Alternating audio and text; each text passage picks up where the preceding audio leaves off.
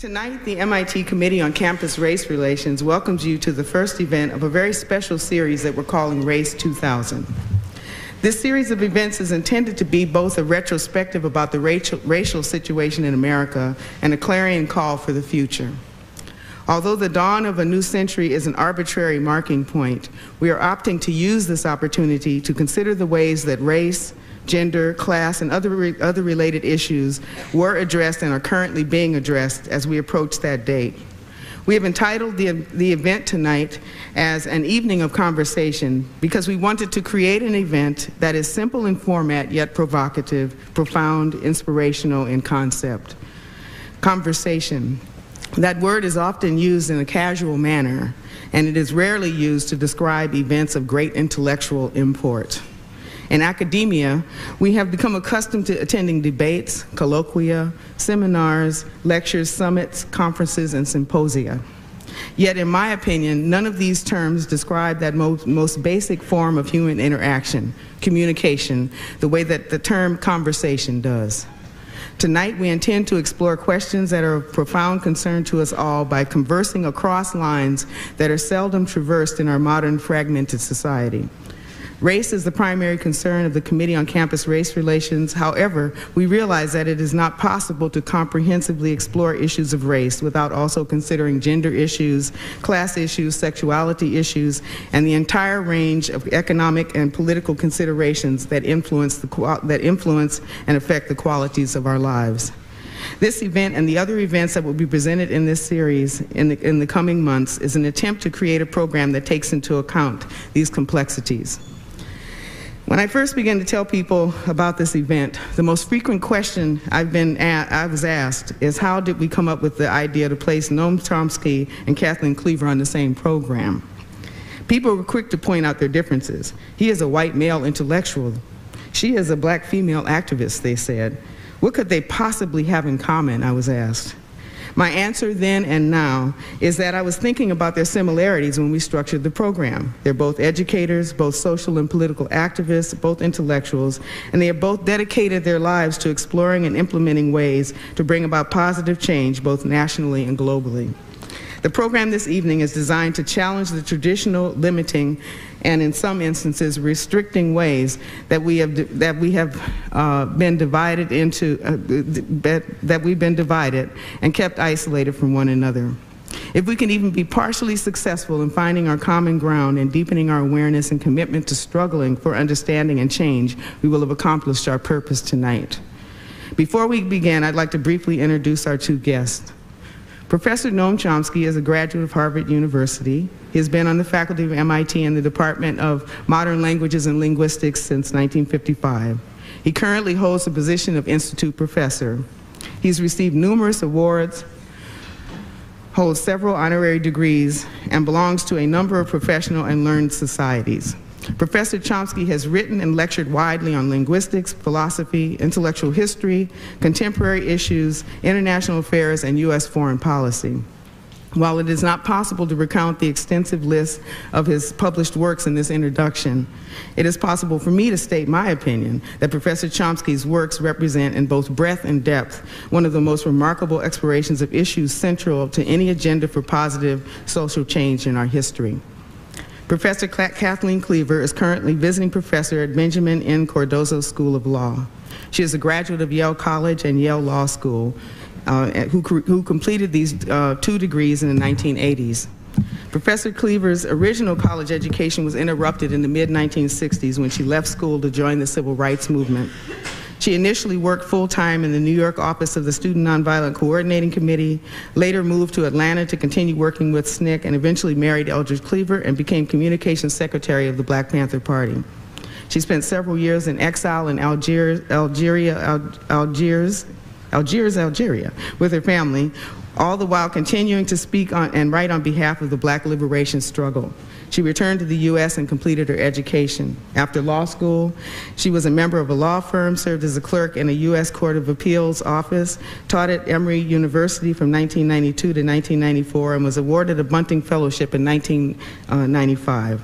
In addition to, teaching, to, to, her teaching duties, she is currently working on her memoir, which she's entitled Memories of Love and War. Now, after just a little bit about the format, after we complete the first part of the program, which will consist of questions and conversation, there will be time for members of the audience to pose questions from the floor. Yeah, where are my questions? Okay, there we are.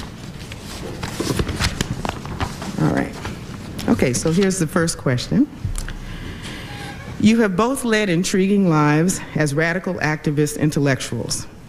Tell us when you got started on this path. Was there a special incident that provoked your involvement or something in your family background that promoted, that prompted your activism?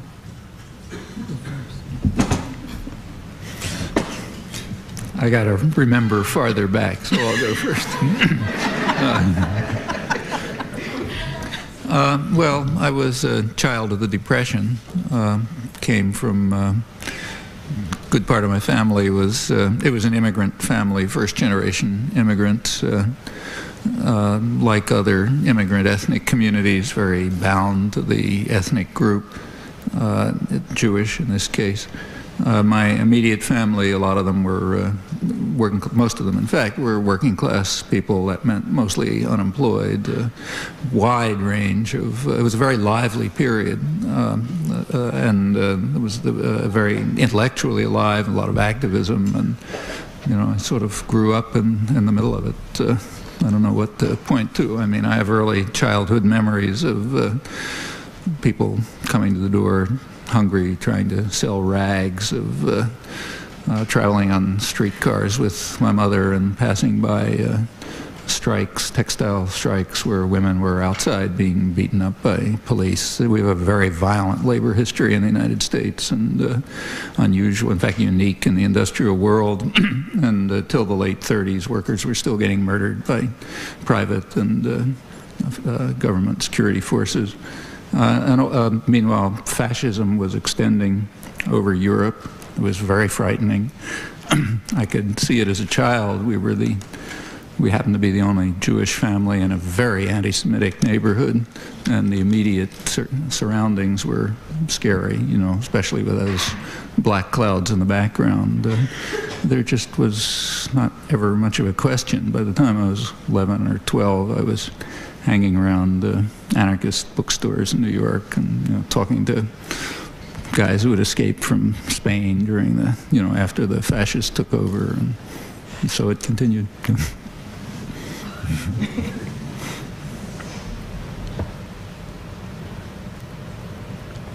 when did I get started? Uh, my parents were activists, radicals before I was born. My father was working on uh, something called the Texas white primary, and it was a Democratic primary. The South was uh, all Democrat back then, and there were activists, both black and white, in East Texas trying to put an end to the all-white primary. Uh, my mother was um, active in school desegregation in Virginia at the time when uh, blacks could go to black elementary school, black high school and black colleges. But if you wanted to go past, if you wanted to go to graduate school, there was no place in Virginia. So one of her friends was a plaintiff in a lawsuit against the state of Virginia to allow blacks to attend the University of Virginia so they could go to graduate school. And the, United, the state of Virginia settled it. And instead of allowing any black um, person to attend the University of Virginia, what they said is that they would pay their tuition to go to any college, any graduate school in the United States that would take them. So my mother took advantage of this and went to study. She was a mathematician. She went to study at the University of Michigan, which was a much better deal, actually, than uh, University of Virginia. And my parents met there. So she had been an activist. He was an activist. He would come up from Texas and work on his PhD and rural social development, rural sociology, something that was called community development, but that at that time, at that era, very few people knew about it. So I was born into this family, but I was also born uh, around the time that the McCarthy era was becoming very intense. And so even though my parents were active and most of their friends were activists, I, they never talked about it. I never heard about these things. I read about them much, much later. Uh, when I begin to remember as being a, a young child in Tuskegee Institute in Alabama in the 1940s and 50s, where uh, I lived, uh, Tuskegee Institute was 45 miles away from Montgomery, and it was a place where people who started the Montgomery bus boycott in the 1950s civil rights work would come and have meetings, and they'd plan to do things, and there were boycotts, and I remember going on boycotts, and I remember uh, hearing about voter registration campaigns and lawsuits. I think Gomillion versus Lightfoot is the suit about the gerrymander of Tuskegee. So the world in which I came conscious was uh, an activist world challenging segregation. And then when I was nine years old, my father stopped teaching at Tuskegee Institute. He went to uh, work in a program that at that time was called Technical Cooperation Mission, later came to be called Agency for International Development. But he went to India in the 1950s at a time when the United States government was beginning to try in third world countries, in non-white areas, in non-European areas to persuade the government not to be friendly with communists. And one of the ways they decided to persuade the government of India, which was very independent and had just gotten out of a colonial relationship with a European power, with Britain, was to persuade them that the United States was not like their former colonial power. And how did they do this? They found black technicians to send to India to work in villages. My father was one. He took me, and I just looked and saw a beautiful, uh, impressive world in which the entire government and the entire country was run by people of color, and they seemed to be doing quite a good job. And so it was no, it, it never occurred to me that there was any validity or any sense or any reason for whites to run everybody's lives. So I immediately became totally uh, un, uh, uh, incompatible. Uh, improperly socialized to grow up in Alabama. I mean, I'm, where I where I'm living, you know, the black people run the country, the minister and the president and the prime minister. But in Alabama, where my friends are growing up, their parents, who may have graduate degrees, who have skin color, some they can't even vote. They can't vote. They can't do anything. So immediately I know this is wrong. Now the incident that kind of triggered my involvement was later. I was a high school student in 1962, I believe, 62, 63, and I saw on the pages of the newspaper outside of Philadelphia in the high school that I was attending. I was a, at a boarding school. My parents were living in Africa. I was there there was one black professor, uh, one black student from the town, two black boarders, and a Japanese student and an African. The rest of the people were white, everybody. So I'm in this world that's very white. It was the first time in my life. I'd lived in Africa and Asia and Macon County, and you don't see too many white people in any of those places. um, and these girls were in the back of a paddy wagon, and they were smiling and they were singing. And the story was about the Albany, Georgia protest against the denial of the right to vote. And the high school students who were getting arrested because they were protesting and they would go to jail and they would sing. And what was so intriguing was that they were smiling. And I, I said, well, they look so happy. And a young woman put a sign outside the, the dining hall and said, we should fast in sympathy with the students from Albany who are fasting in jail. And I went on in the dining hall, didn't think about it. And the next day I came in and there was another sign up that said, Fasting is stupid. We shouldn't do that. We should find something more cooperative to do to solve this problem. And I became infuriated. Who is this student? They, of course, they're all white because every, and I know it wasn't one of the black students who put this note up. So, who is this white boy who's so protected, who has a superior attitude that he can tell young black women in Georgia who are risking their lives to change the system what they should do? So I just became infuriated decided I was going to find out everything about that struggle. I went to Philadelphia. I talked to activists who trained people to go down to Albany. I wrote everything down. I came back in a fury, wrote out a two-page speech, and asked if I could speak at the assembly. Our school had an assembly every uh, every Tuesday and Thursday. And I asked the art teacher, who was my friend. She said, oh, sure. She didn't ask me what I wanted to talk about. she said, sure, Kathleen, you can speak at the assembly. And I got up and I read the speech and told them what this movement was about and what these students were doing and why they were doing it and why Martin Luther King was right and why nonviolence was a good thing and why they should support them. And literally, I had no idea that this would upset people. I It's a Quaker school. I thought they were for nonviolent protest. Well, that's the um, event that sort of got me going. And then in the same town, Tuskegee, where I was from, one of my classmates, young man I grew up with, when I was a college student here in New York, was murdered, shot in the back by a gas station attendant. It, my friend's name was Sammy Younge. He was a student, he was a SNCC worker, he was an activist, and he was murdered after receiving lots and lots and lots of death threats, but he was murdered in an argument with a white gas station attendant over which bathroom he was going to use. The one that used to be identified for white men or the one that used to be identified for colored males because the signs had been taken down. He was shot in the back and left at the Grace, Greyhound bus station across the street. And that that incident was very personal, very painful, and I'd say six months later, I was no longer a college student. I was a civil rights worker. I was a full-time civil rights worker, and gradually just became very more and more and more revolutionary as the resistance against our efforts to change the society increased. Okay. What a short answer. No, it's, it's a good answer. what has allowed you both to maintain your momentum for so many years? And I should, you know, all of us know that many people our age have, have fallen by the wayside. The politics change, you get older, you're thinking about all kind of things, but both of you have continued on in doing the work that you do. What, what, what makes that possible? I'd like to know the reason. The real reason, the secret, the reason no one will tell you is that it's joyful to struggle.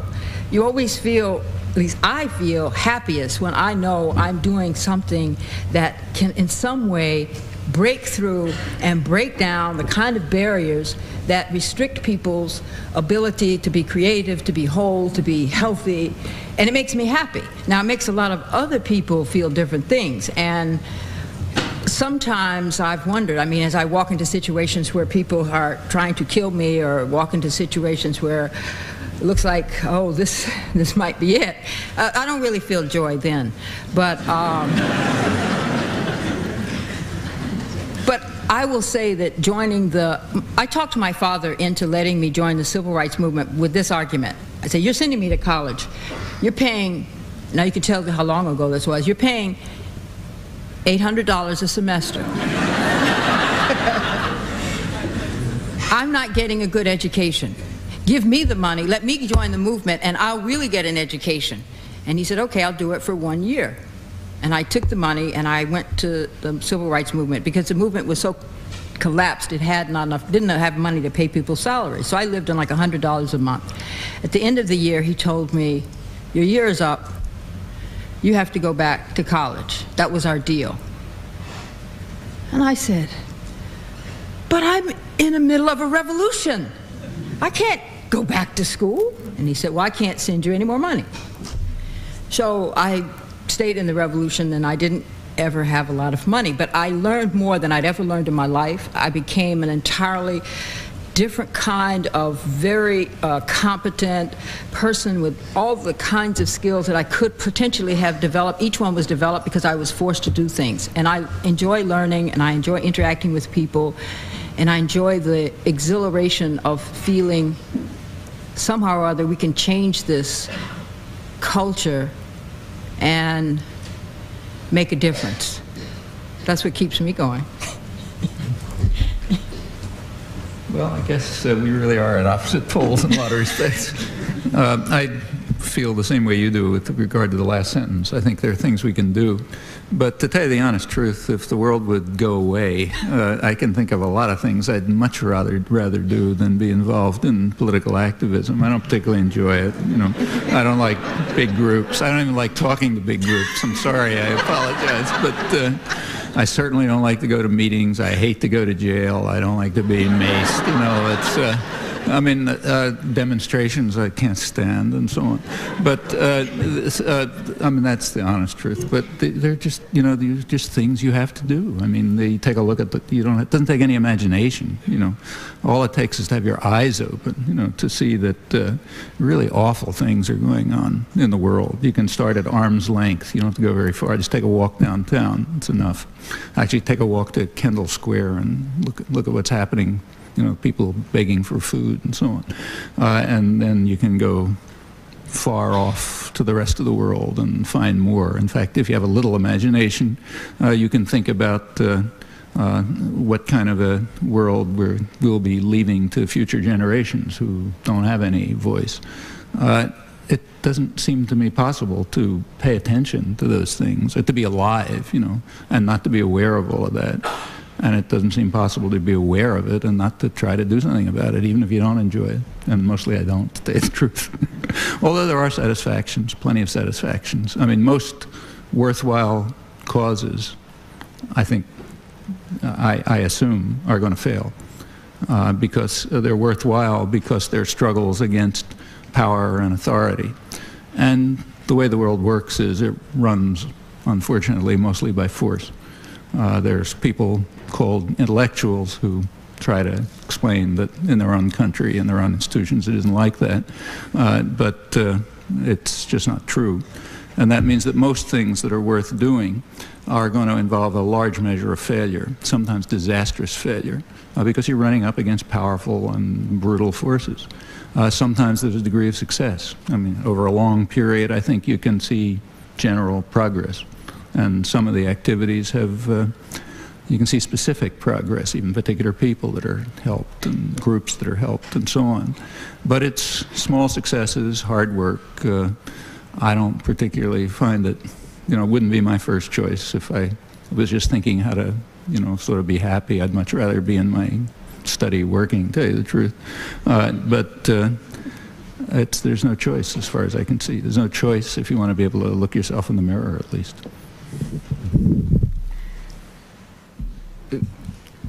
Variously defined as, as the 60s, the 70s, or the revolution, or the counterculture, that 30 years that followed the end of World War II has taken on mythic proportions. Nowadays, books, films, TV productions, and popular culture have revived interest in that era's movements, fashions, music, and politics. What stands out to you as, as significant about that time? I think the most significant things about that period, uh, many of them were written by the people who were most outraged by it and uh, uh, organized uh, a, a, very significant counterattack, which we've been living with ever since, to, over, to uh, destroy everything that was achieved then. And they're pretty articulate and reasonably intelligent. Uh, and some of them have published things that you really ought to read. Everybody ought to read. I was teaching undergraduate courses here for about 25 years on political topics on off on my own time, a lot of fun. But one thing we always had students read was, uh, after soon as it came out, uh, was a book called The Crisis of Democracy, uh, which was the first publication of the Trilateral Commission. It was published in 1975. Uh, Trilateral Commission was founded by David Rockefeller, and it brought together Trilateral because it brought together elite elements from the three, what's called the triad, you know, Japan, the United States, and Europe, uh, three rich areas. Uh, these were mostly liberal elites, incidentally. It's the group of people who were around the Carter administration. In fact, the Carter administration was drawn entirely from that group, including Carter, so it gives you roughly their political complexion. They were scared to death by what happened in the 60s uh, the crisis of democracy, and they're very frank about it. It was meant it was not meant to be read. It was, in fact, as soon as people started reading it, I noticed it went off the market. But uh, the uh, it was meant to be sort of an internal discussion among sort of smart guys. The American rapporteur was from big professor at Harvard. Uh, the uh, they. Uh, uh, what terrified them, and they're very frank about it because it's basically an internal document, uh, is, uh, is the fact that during the 1960s, uh, great masses of people who are ordinarily apathetic and obedient and you know do what they're told and don't get anybody's hair and so on became organized and politicized and started to think for themselves and uh, uh, find their own ways of living, uh, challenge authority, uh, or put forth their demands in the political arena that really drove them up the wall. That's the crisis of democracy. Uh, and the institutions were no longer working anymore. Uh, in fact, what they call the institutions responsible for the indoctrination of the young, you know, meaning universities, schools, uh, churches, and so on. The universities that were responsible for the indoctrination of the young were not doing their job.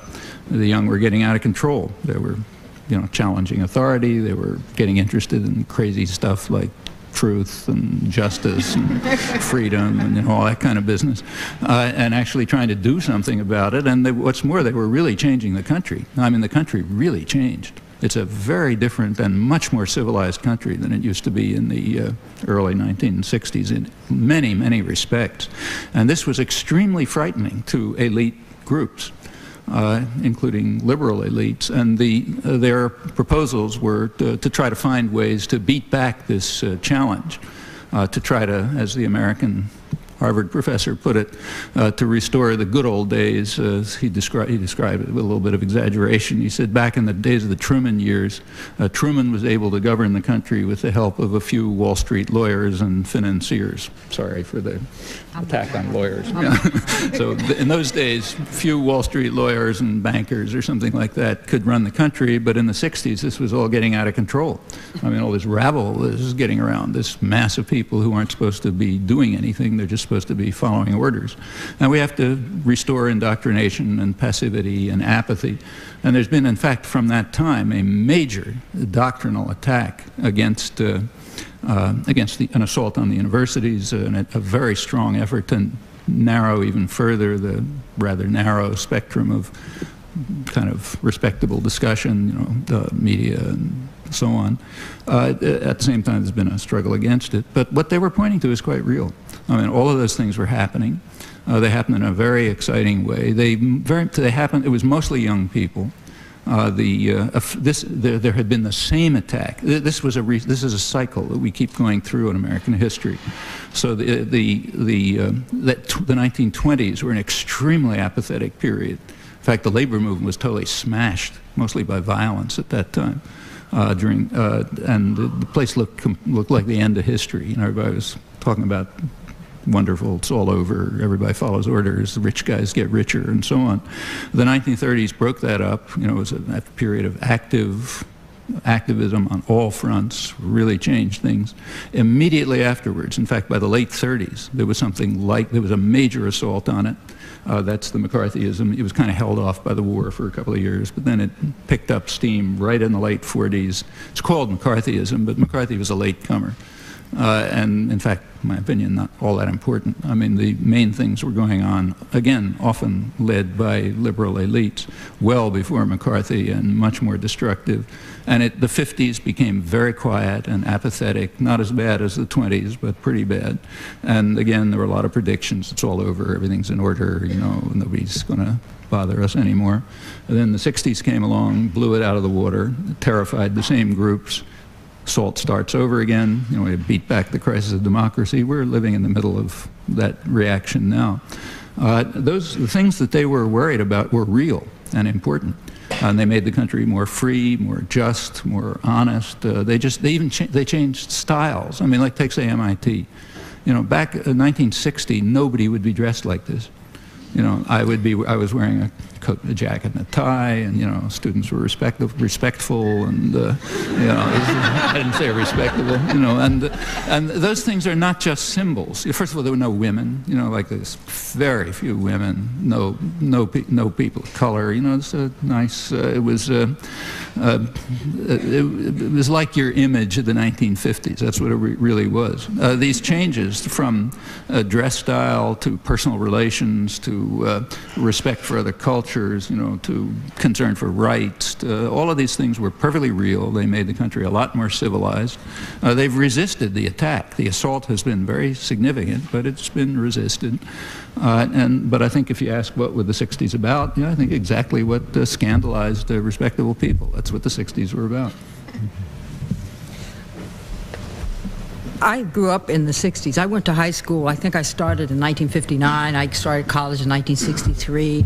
I got married in 1967. I had children in 69 and 70. So this is like from 15 to 25, that's that period of time, that decade. And then, um, so my, my sense of it is quite different in the sense that I didn't, I was Actually, I thought I was in the, the, baby boomer until I read some magazine that said, oh no, you had to be born in 46. So I guess I'm not quite a baby boomer. But um, there was a huge thrust of people about the same age going into educational institutes at the same time in a level and at a pace that had never happened before. And that's true of blacks and whites. And so to me, the thing that is significant is what I will refer to as the student movement. But the student movement is a uh, very powerful and very diffuse thing because the student population was the largest cohort that had ever in history been in college in the United States. So you have movements of students in black colleges, for example, who are challenging the extraordinarily authoritarian structure of that college. You had students at white universities who were challenging the authoritarian structure of their college after having been participants, let's say, in a civil rights summer led by students who had joined the civil rights movement, the Student Nonviolent Coordinating Committee, CORE, some other group.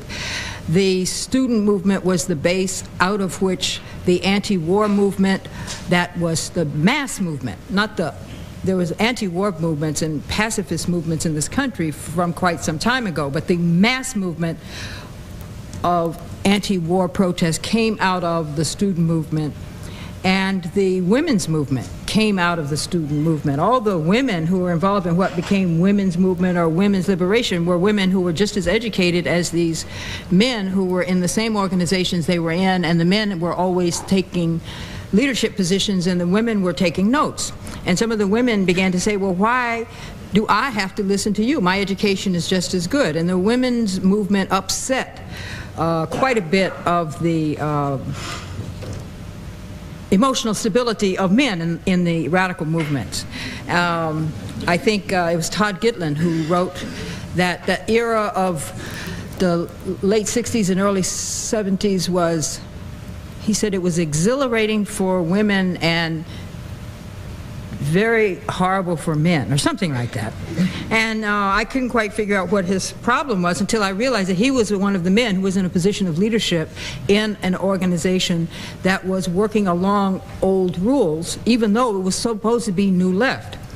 So the thing, though, to me that stands out as significant, as the most significant, as if this did not happen, you would not have that era called the 60s or the 70s. We would not have the explosion of imaginative music and literature and theater. The thing that triggered it for me was the Vietnam War on the one hand. That's an foreign event, but it has so many profound internal consequences for the United States, which I will start in 1954. I mean, that's at the point in which the French are defeated in Indochina and American begin, America begins to uh, take on a military and political role of sustaining uh, a, a different type of government in Vietnam and, and, and supporting the anti-communists. And the reason I picked that date, 1954, is because the other very significant thing was the Brown decision by the United States Supreme Court that was also handed down in 1954, taking the position for the first time in 105 years, I believe, since Plessy. The Plessy decision says uh, se separation separate but equal facilities, racial lines are constitutional. The Brown decision says segregation in education is unconstitutional. And the way that was interpreted, interpreted in black communities was with exuberance and exhilaration, as the Supreme Court has said segregation is unconstitutional. It is said in education, but it was interpreted, and the civil rights movement, the modern civil rights movement, leaped I mean, from that day, from the May 19th or what date that decision was made, the movement took off. And so those two events interacting within the context of the United States gave it a dynamic, gave it a sense of purpose, a sense of possibility, also a sense of horror. I was in a movement that was very internationalist and looked at liberation struggles in Africa, liberation struggles in Asia, in China, in Cuba, and continually said if the Vietnamese can win their independence from the United States, if they can fight against the most powerful military behemoth in the world, so can we. And so that kind of dynamic and that kind of willingness to risk your life and put everything on the line to change that the Vietnam War allowed, I think significantly altered all the other uh, possible struggles, and it generated such internal dissension and protest among whites that the whole cultural hierarchy fell apart and has been put back together, but it's not the same. Thank you. Students often ask me, um, what happened, why did we, why did the 60s stop? That's sort of the question they ask. What happened to the 60s? And I always say, um, and, and, and also, I've been, uh, students have said to me, why did you all give up? And I've often said that um, I don't think the movement stopped voluntarily. Um, and so I want to ask the question about the uh, government's counter, uh, COINTELPRO, we call it COINTELPRO, but it's counterintelligence program that um, was directed at that era and, and, the, and the individuals who were operating in that era and the groups that were uh, uh, uh, most active in that era and ask each of you how did the COINTELPRO program, and you can of course elaborate on it a little bit more and explain it a little bit more than I have right now, how did, how did that program affect both of you? You got more dramatic stories, I think. uh, well, first of all, the idea that this, let me just start with the kind of presupposition. Uh, the idea that the 60s came to an end is completely wrong. I mean, if you think of the movements, if you, sorry, I was saying that the idea that the 60s movements ended is completely false. In fact, that's propaganda. It's part of the propaganda that is trying, and so far failing, uh, to get people back to passivity and uh, obedience. Uh, if you just think back, I mean, the, uh, you know, some of you too young to remember, but you know anyway. Uh, if you think of the movements that have really had a major effect on America, on the life and the culture and the society and you know, the way we act with one another and so on and so forth, they're movements of the 70s, not of the 60s. Uh, the feminist movement, as Kathleen said, that's a movement of the 70s. Uh, and that's probably had a, a maybe a broader effect on the whole culture than anything else I can think of. The environmental movements are movements of the 70s. They barely, nothing existed in the 60s. Uh, the uh, uh, name, and that's, uh, you know, there's a, there's a kind of a deep moral thrust behind that. It's saying we care about the world that's going to exist in the future, you know, not just for ourselves, but what it means for other people. You know, people who don't have a, a vote in the marketplace, if you want to use that ridiculous uh, idiom. Uh, one of the many respects in which it's a grotesque system. But uh, the uh, uh, uh, the solidarity. I mean, let's take even the anti the anti-war movement, the Vietnam anti-war movement. It was a very important thing. I mean, I spent a lot of time and effort and suffering and so on in it. Uh, and uh, was pretty close to going to jail for a long time, in fact, missed by a miracle. But despite all that, let me just tell you that the Vietnam War movement, anti-war movement, was very small as compared with the solidarity movements of the 1980s. So for example, in the 1960s, nobody dreamed of going to live in a Vietnamese village uh, in the hope that a white face might limit the uh, uh, violence of uh, the state terrorists that the U.S. was organizing or U.S. forces themselves. Could have, you know, it might well have limited the violence, but it's not an idea that even occurred to anyone. Well, you know, thousands of people did that in the 1980s. Uh, not people from the left particularly. A lot of them were coming from, you know, Midwestern Christian fundamentalist groups. Uh, but there was just a sense that uh, the, the United States was carrying out a violent terrorist war in the 1980s, uh, ma mainly targeting the church, in fact. Uh, the, the, church, uh, or, uh, popular organizations, and so on. That's part of the attack on the crisis of democracy had spread to Central America, and there you do it a little more harshly than you do here, you know. Uh, and it was very brutal. Hundreds of thousands of people were killed. It was monstrous and so on. It would have been a lot worse if the opposition to it had been only at the level of the 60s. Uh, they could never send B-52s. They had to organize uh, an international terror network instead of sending U.S. military forces directly. Uh, and it was because of the turmoil and the ferment and the literal participation. I mean, there were tens of thousands of people from here who went down to see what was going on and share the lives of the people, maybe protect them, help, and so on. Nothing like that was even conceivable in the 1960s. Uh, the difference is quite dramatic.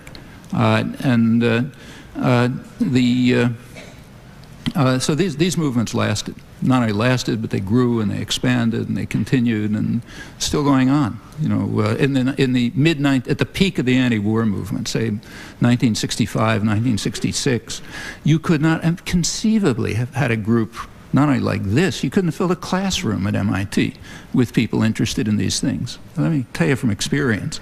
Uh, when we were trying to have uh, meetings against the Vietnam War at places like MIT and Harvard, incidentally, in the mid-60s, uh, we would put together a half a dozen issues you know, the Vietnam War, Vietnam, Venezuela, you know, Iran, uh, you know, the price of bread. I mean, maybe figure if you get 10 issues, you know, you might be able to get uh, 20 people to come out uh, and maybe listen. I mean, when I started giving talks, there were was there were literally the I mean, I give a talk in a church, you know, with four people there, you know, uh, the guy who organized it, some know, some guy was out in the streets and was cold, uh, and two people wanted to kill you. You know, that's, uh, and uh, in fact, uh, Boston's a pretty liberal city, you know, but uh, as late as mid-1966, that's when there were hundreds of thousands of American troops in Vietnam, and the country was virtually devastated. You know, killed hundreds of thousands of people. And at that time, we could not have a public meeting against the war in Boston. You couldn't have a meeting at the Boston Common or at the Arlington Street Church, even in a church, because it would simply be attacked by counter-demonstrators, violently attacked by counter-demonstrators, many of them students, incidentally, you know, marching over from the colleges to destroy it, with the applause of the press, including the liberal press. Uh, now, th that's what the world was like at the, at the peak of the Vietnam War. It changed dramatically, and a lot of it changed because of the movements of the 70s and the 80s. You know, these things remained. They fought off the attempts at repression. They've been growing. The belief that it's collapsed is simply false. Anybody who's been thinks about what's happened knows that's not true. Well, that's kind of only on your first sentence. no, on no, COINTELPRO. Know. Because that actually is part of the, what you're saying is a COINTELPRO. Well, COINTELPRO, yeah. right. COINTELPRO is a very significant thing, and uh, you should, again, if you don't know about it, you should learn about it. It's a thousand times more significant than, say, Watergate. I mention Watergate because the expose of COINTELPRO and of Watergate was just about exactly at the same time. Uh, in comparison to COINTELPRO, Watergate was just a, was a tea party. Uh, the only reason why anybody pays attention to Watergate is the targets were rich, powerful people. And rich, powerful people fight back, you know, like the, the you know, head of the Ford Foundation and the president and the, the CEO of IBM and those guys, or the, the, Democratic Party, which is, after all, half of the power in the country. Uh, you fiddle around with them, they get rid of you. You know, they're powerful and rich, and that's considered a scandal. To go after, uh, to say, to, to, to, to uh, uh, nothing incidentally happened at Watergate. For example, everybody was totally scandalized by Nixon's enemies list, you know, pages. All of, I mean, I was on Nixon's enemies list. You know. they never even audited my income tax. I mean, you know, it's meaningless, totally meaningless thing. Uh, but the point is, rich, powerful, not me, of course, but, you know, rich, powerful people were on Nixon's enemies list. So it was a scandal. I mean, the break-in of the Democratic Party headquarters uh, you know, nobody even knows what it was for. You know, it was a couple of sort of, you know, uh, crooks who were gathered together for some unknown purpose who did nothing. You know, uh, I mean, if you, be, uh, but it became a huge scandal because they were powerful people they were attacking. Let's turn to COINTELPRO. Uh, COINTELPRO, was, which was revealed at the same time very same time. Not, in, not, not, very little in the press or anywhere else. It came out in the, in the courts, you know, uh, Freedom of Information Act. Mostly courts just released documents. Well, it turns out that for since the Eisenhower administration and right up till Nixon, the government had been the government. It's not a you know it's not a little group of people uh, put together by Nixon uh, when he was drunk or something, but the federal government through four administrations were running a, a terrorist program against dissent literally a terrorist program, major terrorist program. I mean, it started, uh, the, began against the Communist Party back in the 50s. Under Kennedy, it really took off. Uh, the uh, it, uh, Puerto Rican nationalists, uh, other groups, and so on, what they called black nationalists quickly became a target Panthers in particular were devastated by it. The women's movement as a whole was attacked as soon as it began to come into existence. The New Left across the board. Uh, in fact, there was virtually nothing that was left out. Uh, maybe the Panthers were the most you know, the most viciously attacked. At the time, according, we now know a lot from released documents. Uh, at the time, according to the FBI, the Panthers had 800 members. But they were devoting enormous efforts to destroy the party because it was doing things like running free breakfast programs in churches and things like that. And it reached the level of outright political assassination. Uh, the literal political Gestapo-style political assassination. Uh, the main, the person who was, you know, the, the most extreme case uh, in the COINTELPRO records was uh, the assassination of Black Panther leader Fred Hampton, who's an organizer in the Chicago ghettos. Now, they were not going after him because he was a criminal or anything else. He was anything but. He was a very effective organizer. That's the kind of guy they want to kill. Uh, they tried, FBI tried to get a uh, criminal gang in the ghetto, uh, Blackstone Rangers. They tried to incite the Rangers to kill him by sending uh, faked letters. I mean, you read the letters; they're so idiotic. I don't think they remember those letters. Did you? I don't know how they could imagine that anybody would believe they were, you know, got some FBI agent putting on black dialect or something. You know, dear brothers. Uh, it was kind of like I mean, if it hadn't been so awful, it would have been a comic strip. Uh, but uh, the idea was to try to get the Rangers to believe that the Panthers had a contract out to kill their leaders, and then they'd go kill them. Well, that didn't work, so the, uh, they just took it over directly. They uh, it was a combined operation of the FBI and the Chicago police, which simply went in and murdered him. Four o'clock in the morning, you know, probably drugged, killed a couple other people. Uh, there was an attempt to cover it up, but couldn't keep, you know, came out in the courts. I mean, there's no doubt about what happened. Uh, you know, uh, in comparison with this, what's Watergate? You know, in fact, one of the most, one of the minor elements of of COINTELPRO, really minor, uh, was an attack on a political party a political party which is every bit as legitimate as the Democratic Party, Socialist Workers' Party. Uh, all the rights of the Democratic Party, right? Only one difference between the Socialist Party and the Democratic, the Democratic Socialist Workers' Party and the Democratic Party. Socialist Workers' Party is a few powerless people. The Democratic Party is half the wealth in the country. Well, uh, in the case of the Socialist Workers' Party, they didn't send in some, you know, Keystone cops to steal some documents for no known reason. Uh, they went, the FBI, which is the national political police, went after them and tried to destroy them. They robbed their offices, they stole their records, they black, tried to blacklist, get employers to blacklist their members. They tried to destroy the party. I mean, infinitely worse than anything that happened to the Democrats. Anybody care? No? I mean, does anybody know about COINTELPRO and as compared with Watergate? No, and that tells you something about the elite culture that we're all trained in and brought up in when we get our degrees at Harvard and so on. Uh, what matters is if you do things to people with power. That's bad. If you do infinitely worse things to powerless people, doesn't even merit a footnote in history. Uh, and you just look at the coverage of these two events, which came out at the same time, and it makes it very clear. Incidentally, uh, MIT was also targeted by COINTELPRO. This is pretty minor, I should say, as compared with the things that Kathleen can tell you about, or that I just mentioned. It's nothing, but uh, the FBI did try to disrupt uh, courses at MIT, mine. Uh, the uh, uh, the uh, incidentally, whether any of this stuff ever happened, I don't know, but it's in the F FBI records. they were the government was required under court order around 1980, I guess, to uh, release documents to people who were targeted by illegal COINTELPRO, COINTELPRO activities. I don't have to add illegal because they're all radically illegal. Uh, so in the course of that, we got some documents. My Louis Kampf, who many you know, and I were teaching courses, I, I, think I mentioned, for many years here. And they tried to disrupt them. We had a lot of students, and there were assistants, and some of the assistants were people who'd been active in the civil rights movement and the student movement and so on. Uh, and uh, the first document, you know, got a set of documents. First one comes from the Boston FBI office to J. Edgar Hoover in Washington saying, our source within MIT and then comes a black line. we spent a lot of time trying to de decipher.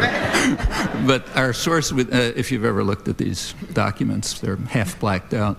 Our source within MIT tells us that uh, you know, these student assistants, these bad guys are teaching in this course. This is a good opportunity for a disinformation effort and to try to undermine it and get rid of them and so on and so forth, uh, and disrupt the course and so on. They need authorization from Washington. They get authorization from Washington. Then, you know, it goes up and back for a lot of boring communications. And the last one says, our source within MIT, you know, blank, uh, tells us that our operation was a terrific success. I mean, we got rid of these guys, you know, the whole thing's uh, wrecked and so on and so forth. Uh, well, you know, that is such a tiny footnote to COINTELPRO. I'm embarrassed even to mention it. Uh, I do because it's close to home. But this was a, you know, it's a major project. Uh, theoretically, it was ended when it was exposed. I don't see any reason to believe that it was ended. Mm -hmm. the, uh, but it's because, you know, it, it's just not uh, maybe going on under some other name or something. Uh, well, that's uh, COINTELPRO. It was no joke. Uh, the, uh, you know, th I think things, it, people were killed. the worst case was the Hampton assassination. Lives were destroyed. and it was a major attack on, on dissent, any kind of dissent, across the board by the end. and it had its effects.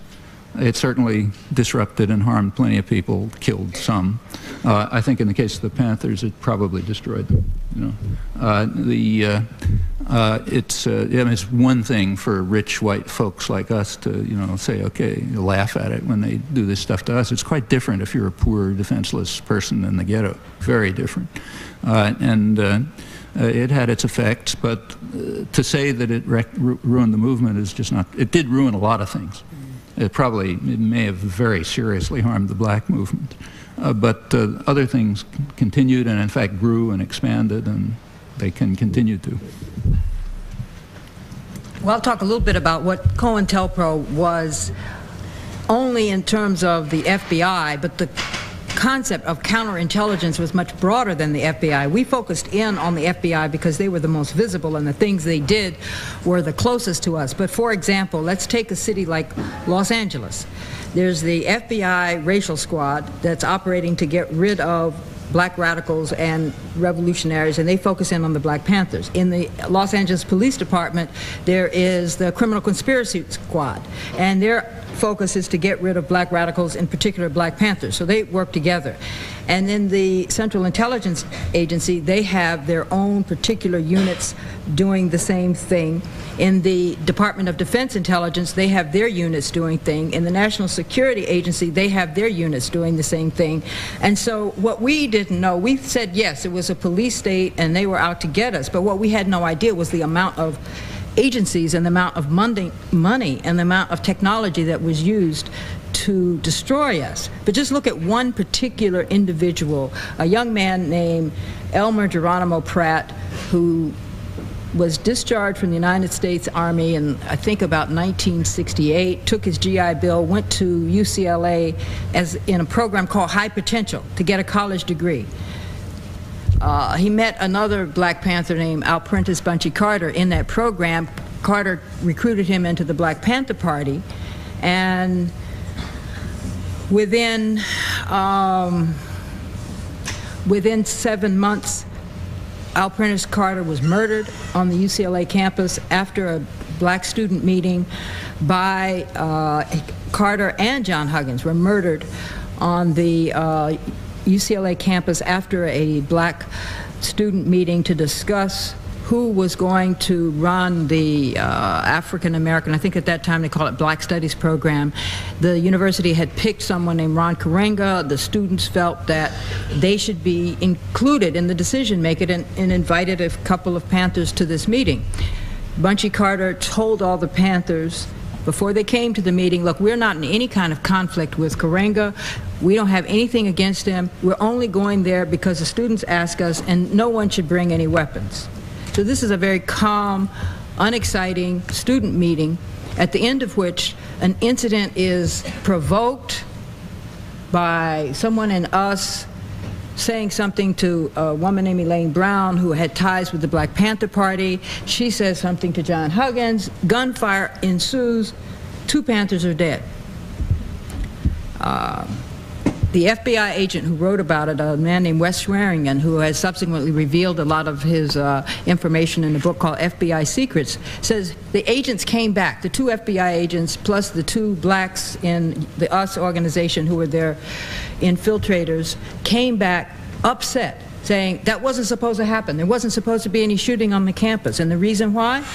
They weren't supposed to be killed on the campus because some white students might have been killed in the gunfire. They were supposed to have been killed, but somewhere else. So that's just one little January 1969 incident, an example of counterintelligence work within the Black Panther Party against the Black Panther Party. And the purpose was not only to kill the leadership of a particular branch, it was very powerful, but to also instigate conflict and warfare between two different and or you might say rival black activist nationalist groups. Now that's a microcosm. What was going on across the country was equally, if not more, vicious. That happened uh, seven months, I believe, before the no, a year before. Fred Hampton was murdered in Jan- in December of 69, and Carter was murdered in January. Some of the groups, for example, that the FBI was spying on, infiltrating, and collecting information on for its so-called agitator index. And if you're on the agitator index, certain uh, things would happen to you under different circumstances. But these are the organizations they looked at. American Nazi Party, anti-Vietnam activists, black nationalists, Black Panther Party, Communists, Congress of Racial Equality, Ku Klux Klan, Latin American. That's there. This is uh, out of the uh, Select Committee report on intelligence activities, otherwise known as the Church Committee. Minutemen, Nation of Islam, National States Right Party, Progressive Labor Party, nationalist groups advocating independence for Puerto Rico, Revolutionary Action Movement, Southern Christian Leadership Conference, Students for a Democratic Society, Student Nonviolent Coordinating Committee, Socialist Workers Party, Workers' World Party, and then there's another one called miscellaneous. now, those are just some of the groups they're looking at. They had programs involving the CIA operating domestically. They had programs involving the CIA operating internationally. I remember reading in the New York Times while I was doing some research as a student about a particular program under when all the reporting about Watergate was going on, that the same little crew that initiated the Watergate break-in had initiated break-ins into the Guinea embassy. The purpose of breaking into the embassy, the embassy of Guinea was because that country represented Algeria in the United States. Algeria and the United States did not have diplomatic relations. The Black Panther Party had an international section in Algeria. The Nixon White House was convinced that the Algerian government was financing not only the Black Panther Party but other movements and wanted proof of this finance. And the CIA had informed him, no, they're not being financed. And he wouldn't believe it. So they had three break ins into the Guinea embassy to get proof of this finance. And there were over and over, people would visit you, people would interact with you, they would send letters to you. I got letters all the time, and I was so busy I didn't read most of them, but they tried to disrupt your relationships with other people. For example, I got a letter that said, um, Dear Kathleen, you are such a nice person. I hate to be the one to break this bad news, but I just want you to know your husband is having an affair with a white woman who lives at such and such and such a street, and had an address. And then it was signed, a soul sister. So I said, I said, if you won't tell me who you are, why should I believe you? And I threw it away. I mentioned to William Kunstler, uh, very, very uh, uh, dynamic lawyer, uh, that incident, just in passing, and he said, yeah, my wife got those kind of letters too, but she believed them all. And so they did all sorts of little insidious, petty things to make you not trust the people you lived with, to break up marriages, to destroy people by killing them, to destroy people by having them arrested, to destroy people by making you think that they were police agent when they weren't. There was a vast array of techniques done, uh, climates created, harassment used, and this is on top of just everyday regular arrests and trials and poverty. So uh, what happened, people were beaten down, and I always say we did not disappear, we did not go out of existence, we were destroyed. And it doesn't matter if the individuals, all the individuals were not destroyed. What was destroyed was their link, their organizational structure, their newspapers, and even more importantly, the links with other organizations. For example, in Chicago, Fred Hampton had created something called the Rainbow Coalition, and it brought together a white organization, radical group called the Young Patriots, Chicano, I'm sorry, Puerto Rican group called the Young Lords, an Asian group, the I Wor Kuen, or the Red Guards, uh, the Blackstone Rangers, and the Black Panthers. And we had other similar coalitions in the Bay Area. We had coalitions with the Peace and Freedom Party, which was an electoral organization predominantly white, and the Brown Berets, which are a Chicano group, and the I Wor Kuen, an Asian group. So when you have radical revolutionary groups pulling together, challenging racism, working together, and you destroy those organizational links, even if the people are still in the same place, their movements aren't. And even if the people are physically there, they don't trust people anymore. So you destroy the motion even though you don't destroy the people. Ooh, that brought me back in time for myself. What have each of you learned from the other's work? Very simple question.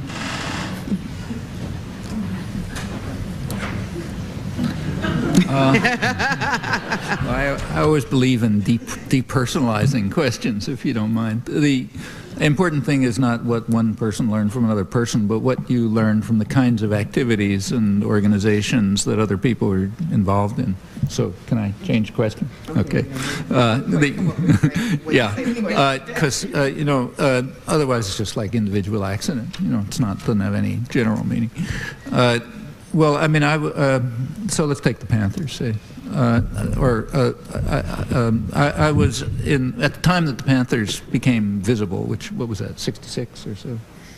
Around 66. Boston, I think 67? Yeah, around then, 66, 67. At that time, I was uh, extensively involved with a, a, group that I'd helped organize. It was, and still exists, and actually has its offices here in Boston. Uh, it's it's called Resist, which was uh, it was the first and major uh, resistance uh, a group of people involved in resistance or supporting resistance. We were a bit older, like we were in our 40s, so a lot of it was resistance support. You know. Uh, some of it was direct resistance, like organizing tax resistance and the kinds of things we could do directly, uh, and all sorts of other activities. But it was a resistance, support, a resistance group and a resistance support group, actually was brought to trial in the Spock, Spock case, if you remember that. Uh, the, uh, uh, by the time, by 66 and 67, by the time the Panthers, you know, were sort of visible on the scene, the group had extended its interests It had a, the, a large number of, the participants were activists of all kinds from around the country. And a number of them were people who did, who worked mostly in the urban ghettos. So we were sort of hearing things from the inside about what was going on at our annual monthly meetings. Uh, the uh, uh, people from the group have gone all sorts of ways. One, I regret to say, a good friend has been in jail for 20 years. Uh, a wonderful person, and others, various things happened to. Uh, but we did sort of know what was going on from direct participation. Then, of course, we could follow. And we decided that as our interests were spreading to many other activities beyond uh, specifically resistance to the war in Vietnam, which is what it started with, that we ought to do something. You know, this was something we ought to become involved in. Uh, and I myself and others started trying to become involved at that time. Now, I don't want to exaggerate. You know, I'm not going to organize workers in the GE factory in Lynn, and I'm not going to organize people in Roxbury. I mean, that's not me, you know.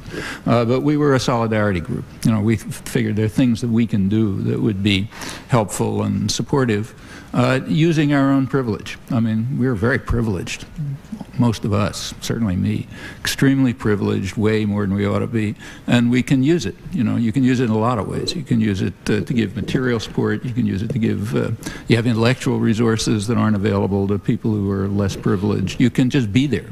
That makes a difference. Uh, you can participate in ways which can, for example, reduce violence or, or uh, can you know help activities go on and so on. So we became involved as a kind of a solidarity group, kind of like third world solidarity groups, you know, in Central America or Africa or whatever. Except this one was right at home, including Boston, and that continued uh, until, at least my personal, for me personally, until the Hampton assassination. Uh, my own last direct participation was to fly out to Chicago at the request of friends and a family of his to be at the funeral. Uh, and uh, it was not a happy occasion. Uh, the, uh, uh, when I came back here, I gave a talk in Kresge, in fact, and there were a fair number of people about it. And we tried to do some more things, but uh, by then, I th- at that time, I think the attack on the Panthers had been sufficiently successful, so they really couldn't recover.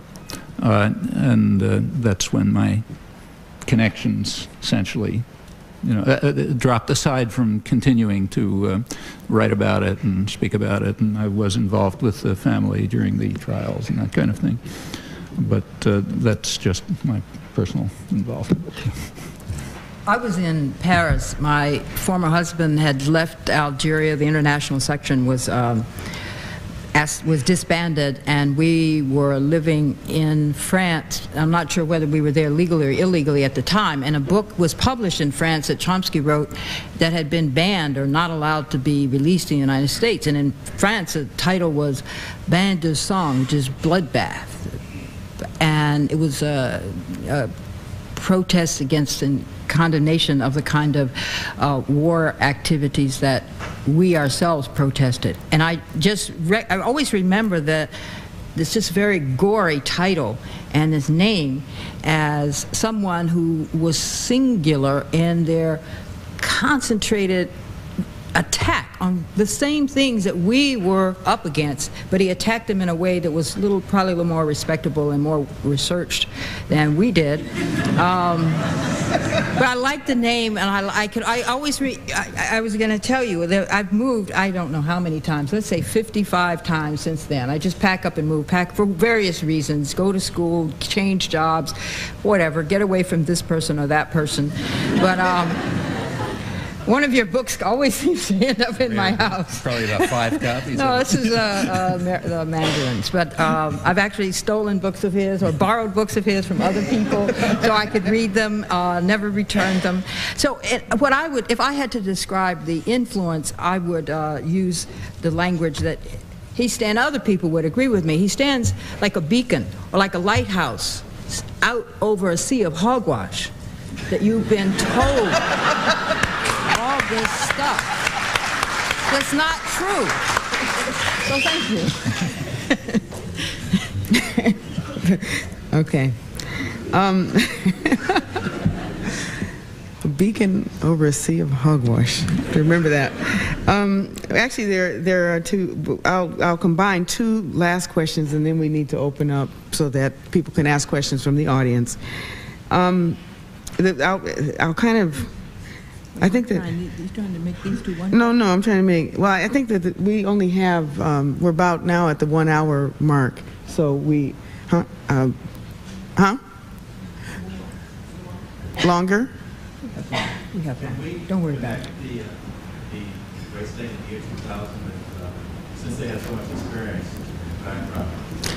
We're not, we're not quite at questions yet. yet. We're, we'll, we'll be there in just a second. We're just going to ask, I'll ask one more question then, okay? Huh? Okay. What do you see as the major challenges facing young people now, uh, uh, young people uh, to, of today when they attempt to bring about social change? And try to, you know, elaborate on that in, in whatever way that would be helpful for the people in the audience. Well, I mean, if I, uh, the challenges, I think, uh, you know, you don't want me to tell you about them. Uh, if you look around, near you, far away, the future, and so on, you're going to find, if you're honest, uh, lots of needless suffering and oppression. Uh, while we're having this meeting, uh, if you believe UNICEF statistics, uh, a couple of thousand uh, children will die of uh, malnutrition and disease who could be saved for probably a few cents a day. I mean, not serious things. And maybe twice that many women will die or uh, be seriously maimed from pregnancy related or childbirth related injuries, all because they don't have fac- facilities that could easily be made available. That's just while we're meeting, you know. Uh, uh, thousands and thousands of people. You don't have to go very far from here to see it. I mean, I've walked through streets in Harlem, which were as horrifying as anything I've seen in the third world, and I've been to some of the poorest and most depressed parts of the third world. Uh, you look elsewhere, you find more. There is endless misery and suffering, and it's needless.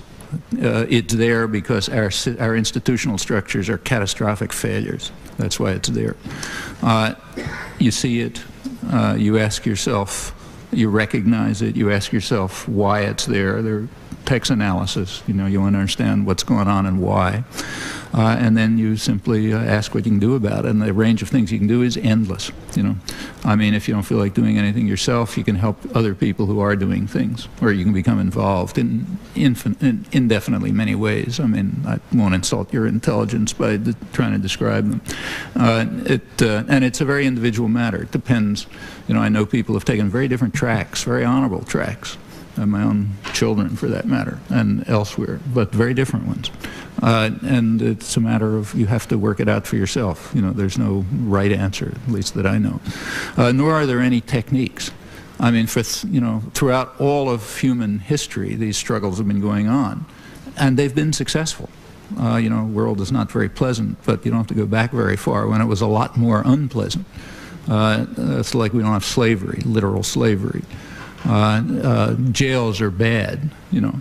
But not very long ago, uh, civilized countries like Norway didn't have a lot of people in prison. Uh, the reason was that uh, if a person robbed a store or something, you'd drive a stake through his hand. You know, then you didn't need prisons. Uh, and we don't have to go very far back to see these things. A century ago, maybe the worst human being that human history has ever created, at least I can't think of anyone worse, was Joseph Mengele.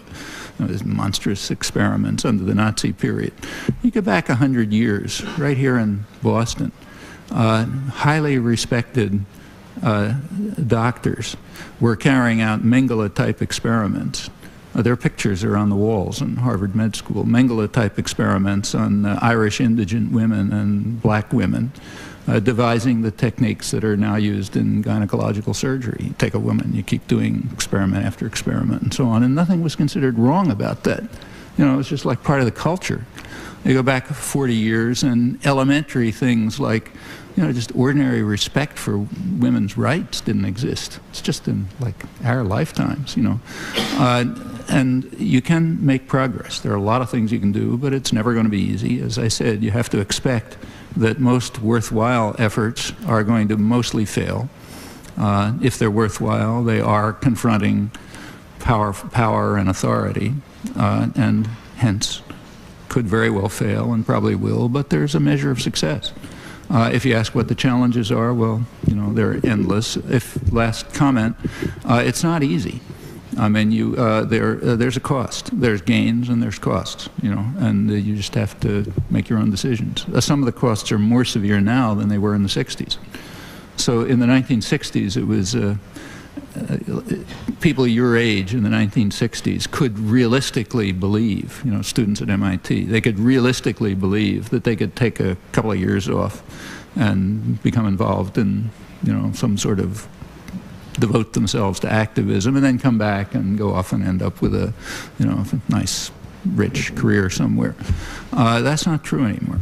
Uh, there, there's a, a, lot of discipline has come about by simply the economic constraints, uh, which are not matters of economic law. They're matters of, so, of decision, you know, decisions within institutions, which have very sharply restricted opportunity and impose discipline uh, because there are ways of ensuring that people who step out of line will not be able to step back into line.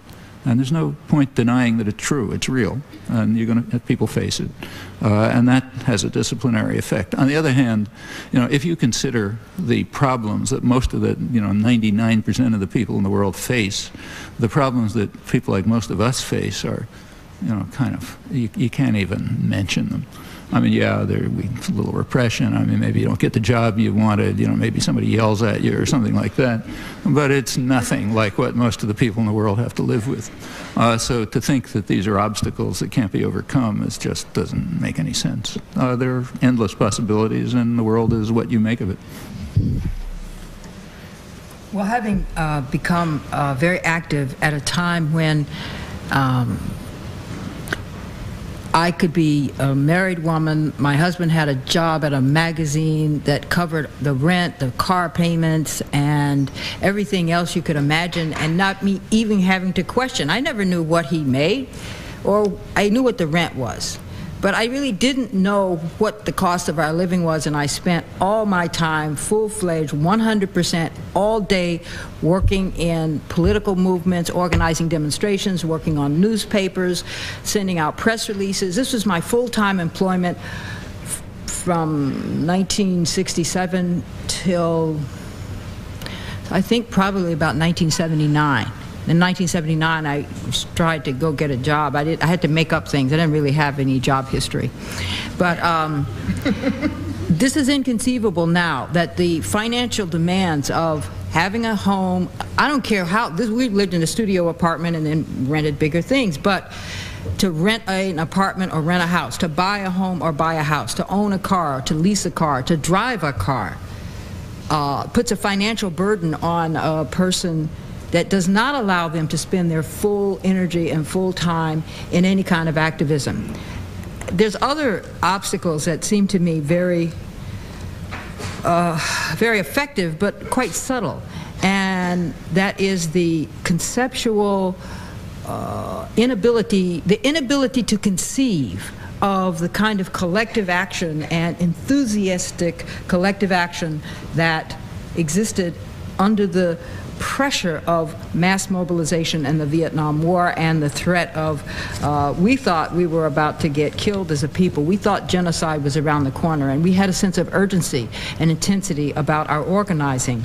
But the uh, as an illustration, I was interviewed in Atlanta by a young reporter. I think she was about 25, 23, and she was asking me about my career. She, she couldn't get over the fact that there was a former Black Panther at Emory teaching, and a lot of people couldn't get over that.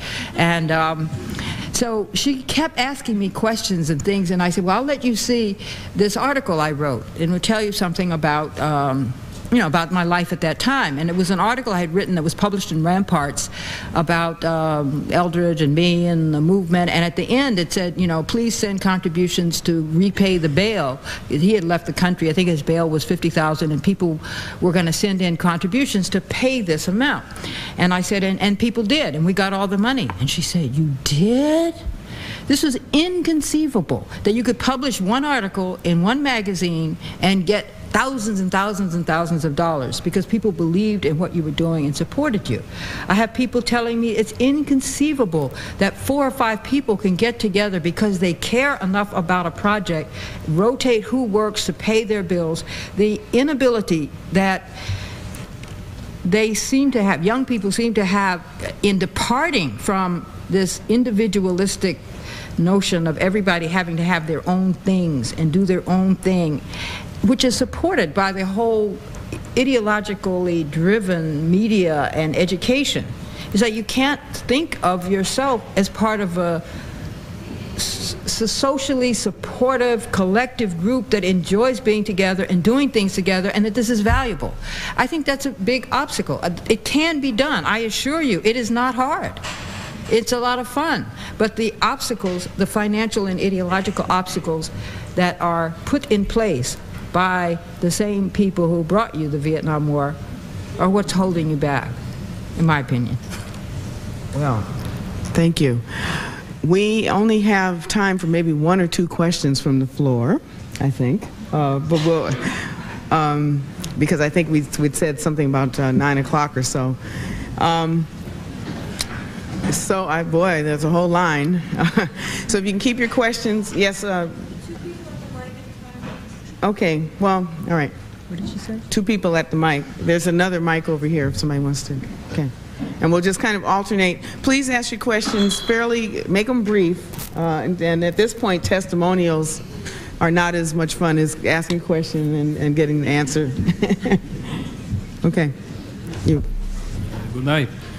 Uh, I am from Guatemala. I am just a visitor here in this university, and both of you, you have a very an enormous an, uh, an enormous experience about working in political movements and uh, using or participating or in armed popular struggle or, and, and questioning authority and power.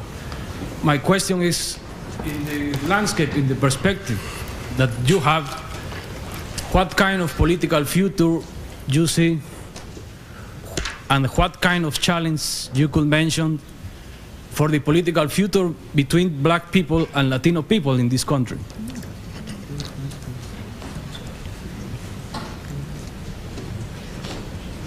So who's going I, I think what, I think, but tell me if I'm wrong, that you're asking what is the political future between black people and Latino people in the United States? Is that what you said? The political future? What yeah. What kind of challenge? What kind of, what kind of challenge you are seeing, according with your experience what kind of challenge for the possibility to build a common agenda? Ah, okay.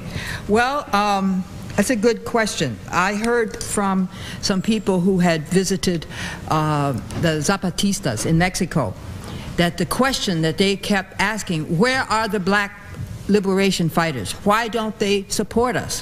Where are they? Why don't they come down here? And I remember um, reading when I first read about the, the demands. We want land, peace, justice, bread, housing, and freedom. I said, but that's the same thing the Black Panther Party said. The, there's a the, sort of an intrinsic identification with the same issues. However, there's a there seem to be an enormous amount of social barriers, particularly not not necessarily in Central America, particularly in the United States, where when you talk about Latino people, too many instances of people who have been mistreated and abused and exploited, but their identification is white. They identify themselves as white, even though a lot of Latinos are obviously black. But their still identification is white, and the conflict and the dynamics in the United States are very antagonistic on a black-white axis. The closer you are to white, the view is the more privileges you have. The further away from white, the less privileges you have. So there's an antagonism that is benefiting the same power structure. And there have been efforts, particularly in California and the Southwest, where you have large black and uh, Spanish-speaking communities to collaborate on certain political tasks, but on certain issues there's always a falling out, particularly if the issue evolves around immigration policy. So in my own view, the um, future depends on enlightened, committed, leadership that's not self-serving and not corrupt. That means they're probably not running for office. But um, I think there's a lot of possibilities, and I think people have to start in organized activities, working together and building a sense of trust. And then when people trust each other, they'll work together and be able to get past some of these barriers. But the barriers were in place before we were born. So it takes an effort, it takes a commitment, but that doesn't mean it can't be done. I was wondering, this is just a quick question. I don't think this mic is on, but uh, anyway.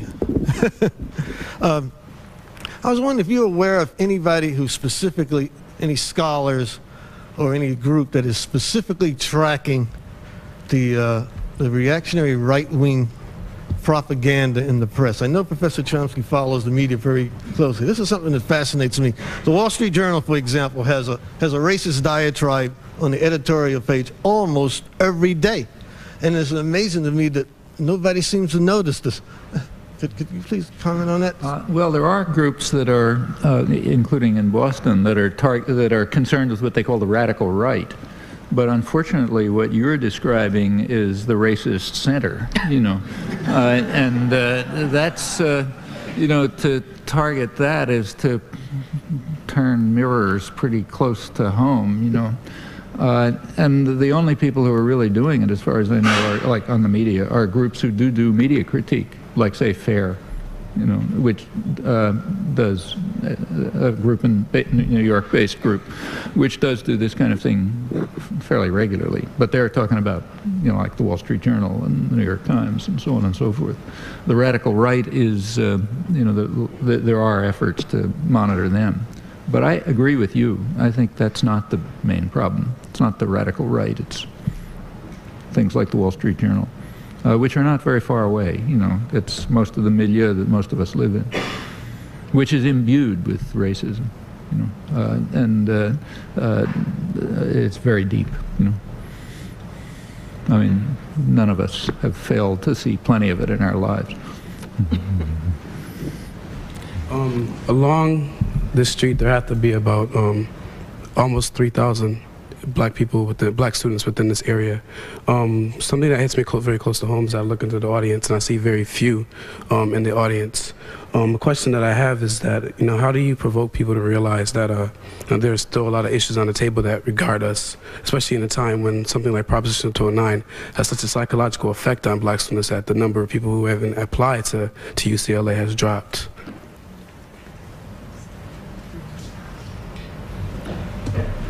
Uh, how do you do it? Um, as I said before, if there's any techniques, they've been kept a secret for a couple of thousand years. Uh, the only technique, the only things you can try to do are to educate yourself and others, and to organize together with others, and to undertake actions to combat these things.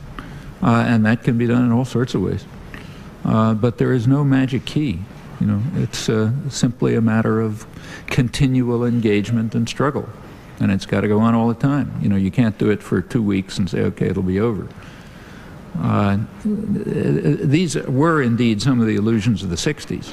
Uh, in the 1960s, it was largely a youth movement uh, it, because of the effect of the uh, you know, the real repression of the 50s. And it wasn't, wasn't repression like Guatemala, you know, where you murder a couple hundred thousand people, but it was repression, which got people quiet. Uh, by the time the student movement took off, it was mostly uh, dissociated from rich traditions in American society, which had been broken. Uh, and young people have, you know, did a lot of marvelous things, but often with a very weird perspective.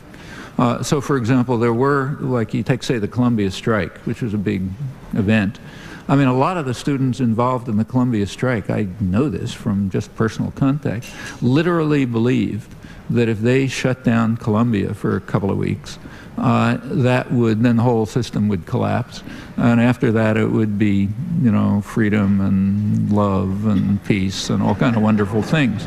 Well, you know the world is maybe that's what it looks like when you're 17 years old. I don't I don't remember frankly, but uh, uh, it doesn't work like that. You know it is going to be constant struggle on every one of these things. There are going to be attempts to, uh, you know, beat people back, to separate them from one another, to make, uh, I mean, say, take affirmative action. I mean, you know, it's, it's, it's an issue on which you can get people to feel, uh, privileged people to feel, look, I'm getting stepped on, okay?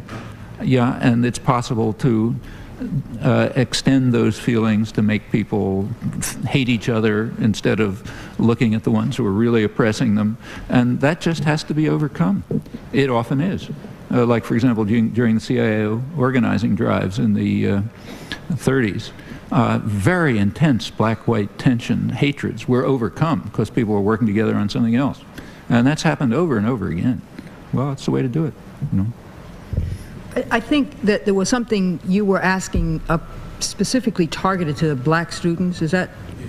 Well, one of the things I think we're seeing that did not exist in such um, uh, obvious fashion when I was a student is uh, the success of this ideology or program that was called integration. I mean, at the time of the um, beginning of the civil rights movement, blacks were very largely excluded either by official, everyday legal segregation or just by casual, customary segregation. So the black community and the community which sustained the activists was separate from the mainstream. And as a consequence of legal changes, social changes, some level of integration, which has been fairly low, but a lot of propaganda about integration, you have changed the dynamic within the black community so that people who formerly had to work collectively together, had to live in the same place, had to do the same things, had to go to the same schools, now have a lot of choices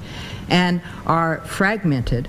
And not only are they fragmented, but fragmented in a class structure that didn't exist. For example, the numbers of people who see themselves as middle class are, much larger now than when I was um, starting college in 1963. And furthermore, the number of people who have lost a sense of being committed to something we call the community, committed to the community. Black students in college said, we don't want to come here and just join the elite, we want to go and work in the community.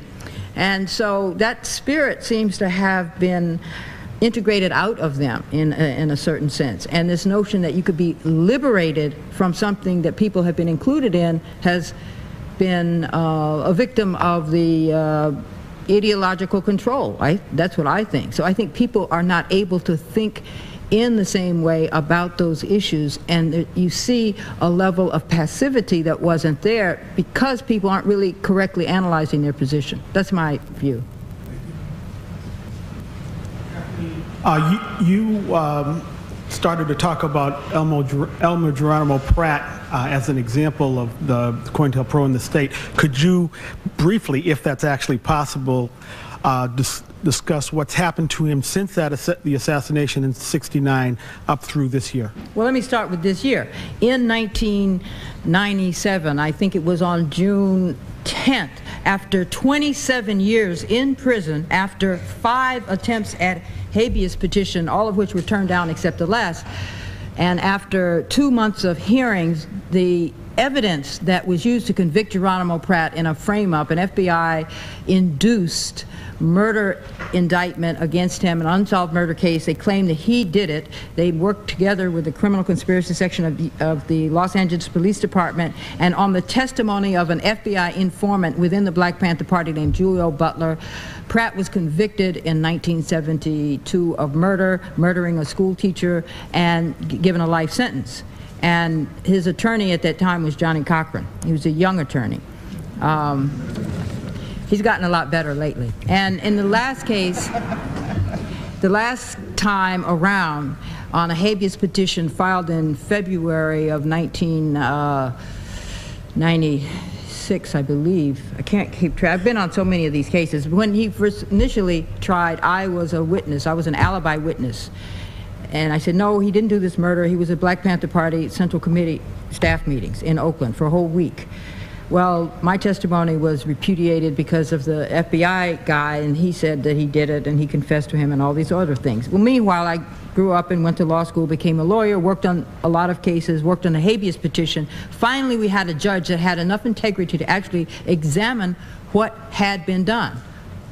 Not a liberal judge, but a conservative judge. Not a judge in Los Angeles, but a judge in Orange County. And he looked at the record, he looked at the whole thing, and he said, This is a case that cries out for resolution. And he put this informant on the stand, and he looked at all the evidence, and he came to the conclusion that under the law that existed at that time, this man's conviction had to be invalidated. It should never have even happened, but that's what happened, and that's one example of COINTELPRO in that, yes, it is a victory, it is a victory, but what happened over those 27 years that he was locked down? So how do you replace that, and how do you see that? Whose, whose victory is this? Anyway, Okay, I guess we only have time for one more question, really. what's going to happen? Huh? What's going to happen? What's going to happen? To get out of the building? No, it's just the people are telling, all, all these people are running around going like this to me. Huh? I don't know. We'll try another. Well, let's try the question. Hi, Roger Leisner, Radio Free Maine. Next month, Howard Zinn will travel to Berkeley, California to deliver the first annual Mario Savio lecture. Now, for those of you who don't know, Mario Savio was one of the leaders, founders of the free speech movement at the University of California back in the 60s. And I've noted that um, civil rights, the anti-war, free speech also seems to be one of those big issues that you know students gather around on campuses. What do you two see as some of the free speech issues of today? Uh, for instance, I know that some of the black college uh, radio stations in the South have banned rap music from being played. Uh, there's also this whole issue of the V chip and censorship in the internet and so on. But are there any particular free speech cases that stand out to you? Well, by comparative standards, uh, the United States has a very good record on freedom of speech, uh, maybe the best in the world. And it's not, it's, it's new. It's not our history. People who tell you it's in the First Amendment don't know American history. It's not in the First Amendment. In fact, the U.S. Uh, Supreme Court actually, you know, passed the minimal test on freedom of speech in 1964 uh, in the context of the civil rights movement uh, when it finally uh, uh, invalidated the uh, law against what's called seditious libel, you know, meaning you can harm the state criminally by speech. And as speech, free speech act, you know, lawyers and specialists always said, that's the hallmark of a free society when you knock that down. Very few societies have knocked that down. It was done here. It was done as part of the civil rights struggle, which shows you how these things happen. Uh, it, uh, but since that time, and in fact, you know, the, the, U.S. has a good record on freedom of speech. There are cases. I mean, there are cases of censorship which are, you know, really bad and so on. But the really serious ones are not what are called censorship, in my opinion. Uh, they are uh, the control over the arena of public discussion and information by private tyrannies. Uh, the country is, after all, run by what amount to totalitarian organizations. They're called corporations. If you look at a corporation, its internal structure mimics. It's a, it's a, it virtually mimics in the social and economic sphere uh, what uh, we call totalitarianism in the political sphere. Uh, and they are, uh, it's true that you, you know, they don't have the coercive power of the state. So you can choose not to be to rent yourself to them and to die from starvation. You're allowed that free choice, uh, and they can't force you to do it. So it's different than state power. Uh, but the uh, extent of their control over the decisions that matter in life is enormous uh, and growing. And part of the general attack on democracy is the attempt to make it grow even further the things that are very misleadingly called free trade acts, very little to do with free trade, most of them. Uh, you take a look at the way they're designed. Their basic design is to try to shift power even more into the hands of unaccountable private tyrannies and out of the public arena. Uh, now, one part of that is control of the media.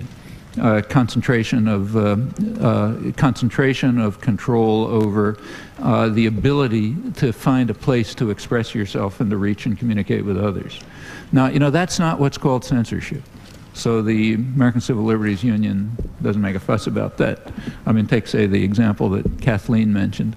This book of, wasn't just mine, mine and Ed, Edward Herman and I, who I, he's an economist at University of Pennsylvania. We've written a lot of things together, and this book was the first book we wrote together. Uh, well, it wasn't technically censored. Uh, what happened is that the, corpora- it, the corporation that owned the publisher, the corporation is Warner Communications, you know, this big monster.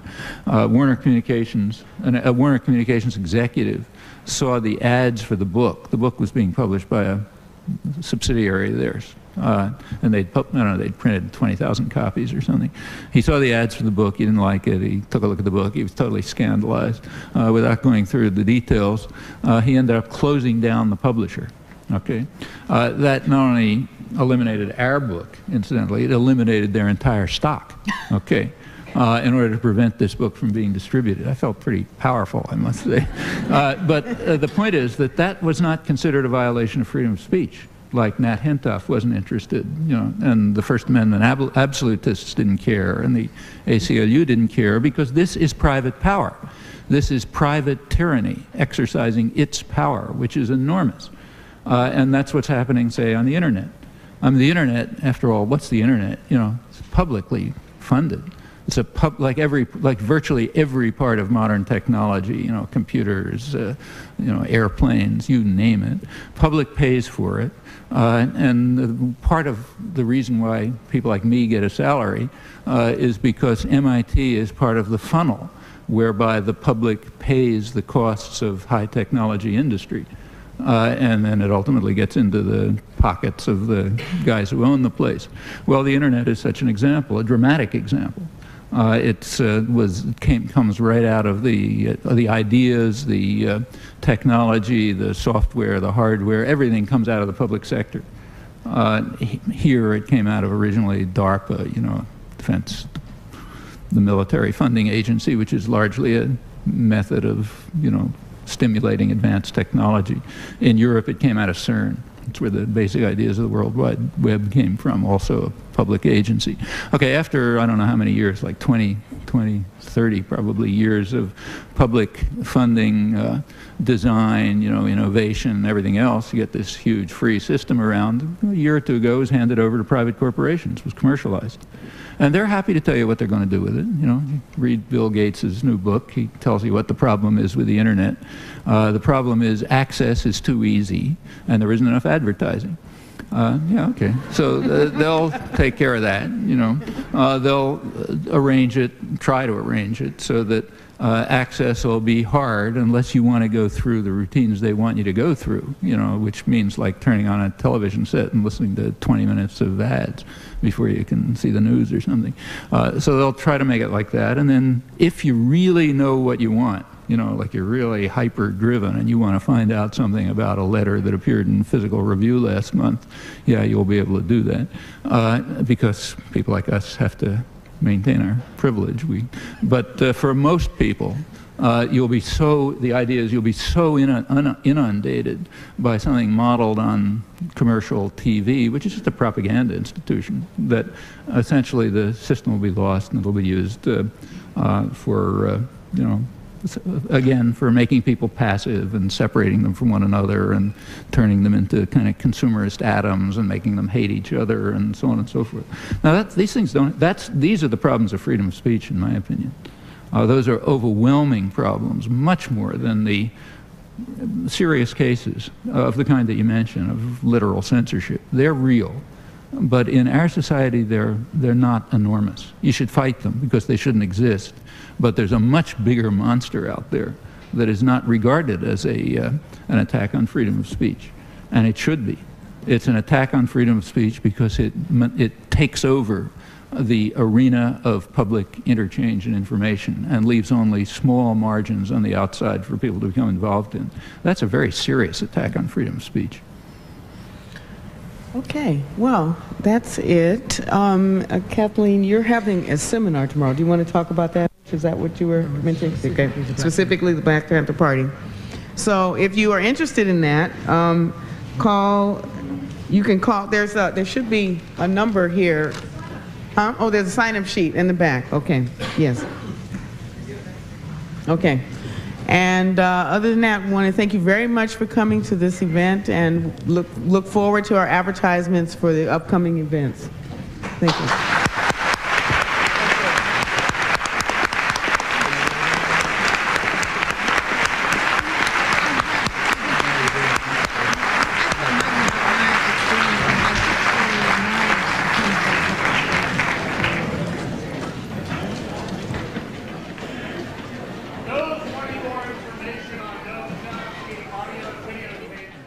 late 30s, workers were still getting murdered by private and uh, uh, government security forces.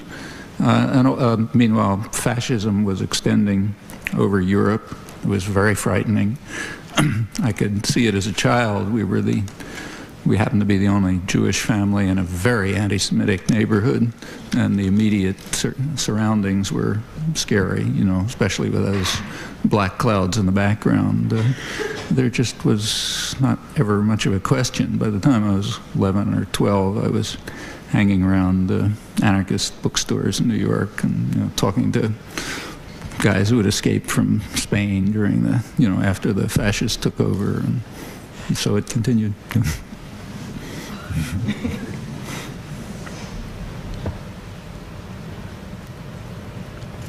when did I get started? Uh, my parents were activists, radicals before I was born. My father was working on uh, something called the Texas white primary, and it was a Democratic primary. The South was uh, all Democrat back then.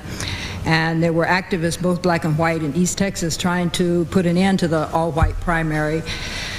Uh, my mother was um, active in school desegregation in Virginia at the time when uh, blacks could go to black elementary school, black high school, and black colleges. But if you wanted to go past, if you wanted to go to graduate school, there was no place in Virginia. So one of her friends was a plaintiff in a lawsuit against the state of Virginia to allow blacks to attend the University of Virginia so they could go to graduate school. And the, United, the state of Virginia settled it. And instead of allowing any black um, person to attend the University of Virginia, what they said is that they would pay their tuition to go to any college, any graduate school in the United States that would take them. So my mother took advantage of this and went to study. She was a mathematician. She went to study at the University of Michigan, which was a much better deal, actually, than uh, University of Virginia. And my parents met there. So she had been an activist. He was an activist. He would come up from Texas and work on his PhD and rural social development, rural sociology, something that was called community development, but that at that time, at that era, very few people knew about it. So I was born into this family, but I was also born uh, around the time that the McCarthy era was becoming very intense. And so even though my parents were active and most of their friends were activists, I, they never talked about it. I never heard about these things. I read about them much, much later. Uh, when I begin to remember as being a, a young child in Tuskegee Institute in Alabama in the 1940s and 50s, where uh, I lived, uh, Tuskegee Institute was 45 miles away from Montgomery, and it was a place where people who started the Montgomery bus boycott in the 1950s civil rights work would come and have meetings, and they'd plan to do things, and there were boycotts, and I remember going on boycotts, and I remember uh, hearing about voter registration campaigns and lawsuits. I think Gomillion versus Lightfoot is the suit about the gerrymander of Tuskegee. So the world in which I came conscious was uh, an activist world challenging segregation. And then when I was nine years old, my father stopped teaching at Tuskegee Institute. He went to uh, work in a program that at that time was called Technical Cooperation. Tonight, the MIT Committee on Campus Race Relations welcomes you to the first event of a very special series that we're calling Race 2000. This series of events is intended to be both a retrospective about the racial, racial situation in America and a clarion call for the future. Although the dawn of a new century is an arbitrary marking point, we are opting to use this opportunity to consider the ways that race, gender, class, and other, re other related issues were addressed and are currently being addressed as we approach that date. We have entitled the, the event tonight as an evening of conversation because we wanted to create an event that is simple in format yet provocative, profound, inspirational in concept. Conversation. That word is often used in a casual manner, and it is rarely used to describe events of great intellectual import. In academia, we have become accustomed to attending debates, colloquia, seminars, lectures, summits, conferences, and symposia. Yet, in my opinion, none of these terms describe that most, most basic form of human interaction, communication, the way that the term conversation does. Tonight, we intend to explore questions that are of profound concern to us all by conversing across lines that are seldom traversed in our modern fragmented society. Race is the primary concern of the Committee on Campus Race Relations. However, we realize that it is not possible to comprehensively explore issues of race without also considering gender issues, class issues, sexuality issues, and the entire range of economic and political considerations that influence, the, that influence and affect the qualities of our lives. This event and the other events that will be presented in this series in the, in the coming months is an attempt to create a program that takes into account these complexities. When I first began to tell people about this event, the most frequent question I've been I was asked is how did we come up with the idea to place Noam Chomsky and Kathleen Cleaver on the same program? People were quick to point out their differences. He is a white male intellectual. She is a black female activist, they said. What could they possibly have in common, I was asked.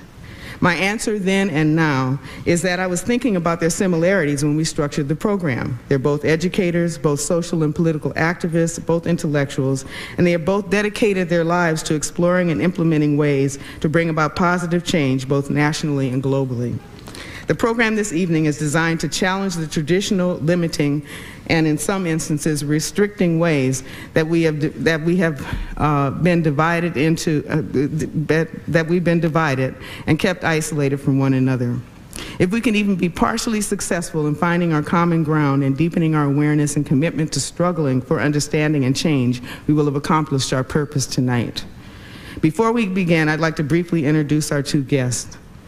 Professor Noam Chomsky is a graduate of Harvard University. He has been on the faculty of MIT in the Department of Modern Languages and Linguistics since 1955. He currently holds the position of Institute Professor. He's received numerous awards, holds several honorary degrees, and belongs to a number of professional and learned societies. Professor Chomsky has written and lectured widely on linguistics, philosophy, intellectual history, contemporary issues, international affairs, and U.S. foreign policy. While it is not possible to recount the extensive list of his published works in this introduction, it is possible for me to state my opinion that Professor Chomsky's works represent in both breadth and depth one of the most remarkable explorations of issues central to any agenda for positive social change in our history. Professor Kathleen Cleaver is currently visiting professor at Benjamin N. Cardozo School of Law. She is a graduate of Yale College and Yale Law School, uh, who, who, completed these uh, two degrees in the 1980s. Professor Cleaver's original college education was interrupted in the mid-1960s when she left school to join the civil rights movement. She initially worked full-time in the New York office of the Student Nonviolent Coordinating Committee, later moved to Atlanta to continue working with SNCC, and eventually married Eldridge Cleaver and became Communications Secretary of the Black Panther Party. She spent several years in exile in Algiers, Algeria, Algiers, Algiers, Algeria, with her family, all the while continuing to speak on and write on behalf of the black liberation struggle.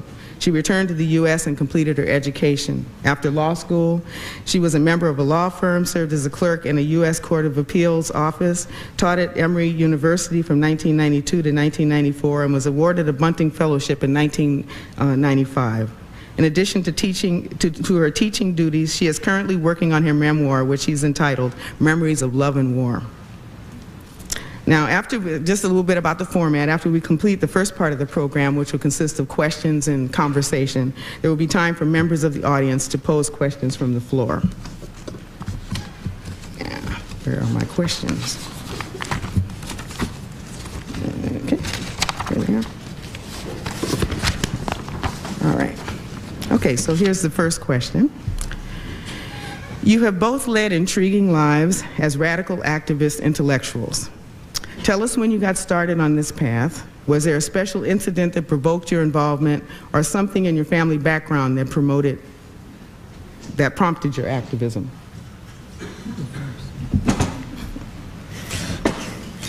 I got to remember farther back, so I'll go first. uh, uh, well, I was a child of the Depression, uh, came from uh, good part of my family was uh, it was an immigrant family, first generation immigrant. Uh, uh, like other immigrant ethnic communities, very bound to the ethnic group, uh, Jewish in this case. Uh, my immediate family, a lot of them were uh, working, most of them, in fact, were working class people. That meant mostly unemployed, uh, wide range of, uh, it was a very lively period. Um, uh, and uh, it was the, uh, very intellectually alive, a lot of activism. And, you know, I sort of grew up in, in the middle of it. Uh, I don't know what to point to. I mean, I have early childhood memories of people coming to the door hungry, trying to sell rags, of uh, traveling on streetcars with my mother and passing by uh, strikes, textile strikes, where women were outside being beaten up by police. We have a very violent labor history in the United States and uh, unusual, in fact, unique in the industrial world. and uh, till Operation Mission later came to be called Agency for International Development, but he went to India in the 1950s at a time when the United States government was beginning to try in third world countries, in non-white areas, in non-European areas to persuade the government not to be friendly with communists. And one of the ways they decided to persuade the government of India, which was very independent and had just gotten out of a colonial relationship with a European power, with Britain, was to persuade them that the United States was not like their former colonial power. And how did they do this? They found black technicians to send to India to work in villages. My father was one. He took me, and I just looked and saw a beautiful, uh, impressive world in which the entire government and the entire country was run by people of color, and they seemed to be doing quite a good job. And so it was